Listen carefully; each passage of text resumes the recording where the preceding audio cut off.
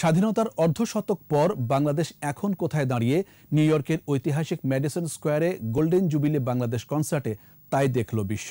জমকালো এই আয়োজনে মহান মুক্তিযুদ্ধের গৌরবোজ্জ্বল ইতিহাসের প্রতি শ্রদ্ধা জানানোর পাশাপাশি তুলে ধরা হয় বাংলাদেশের এগিয়ে যাওয়ার সাফল্য চিত্র। কনসার্টে অংশ নেয় জার্মানির বিশ্ববিখ্যাত রক ব্যান্ড দল স্করপিয়ান্স ও বাংলাদেশের চিরকুট। আরও জানাচ্ছেন দুলি মল্লিক।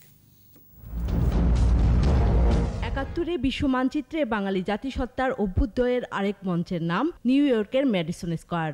বিটলস তারকা জর্জ হ্যারিসনের কণ্ঠে উচ্চারিত বাংলাদেশ নামটি সেদিন ছড়িয়ে পড়েছিল পুরো বিশ্বে। বাংলার মানুষের পাশে দাঁড়ানোর সেই মহা আয়োজন ইতিহাসের পাতায় দ্য কনসার্ট ফর বাংলাদেশ নামে আজও উজ্জ্বল।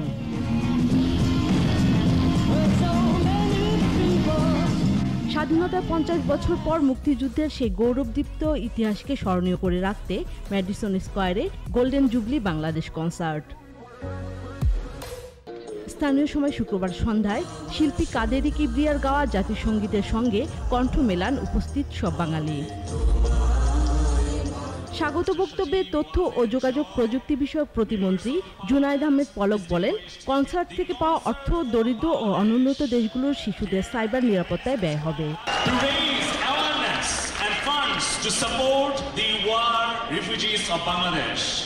দেশ বিদেশে দর্শকদের সামনে তুলে ধরা হয় অর্ধশতকে বাংলাদেশের সাফল্যের চিত্র।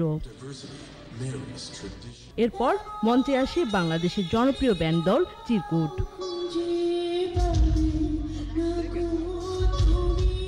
সবশেষে মঞ্চে আসে কাঙ্ক্ষিত German rock band Scorpions wind of change আগামী শিশুদের স্বপ্ন দেখার সেই জাদু মন্ত্রের গান উচ্চারিত হয় বিশ হাজার মানুষের কণ্ঠে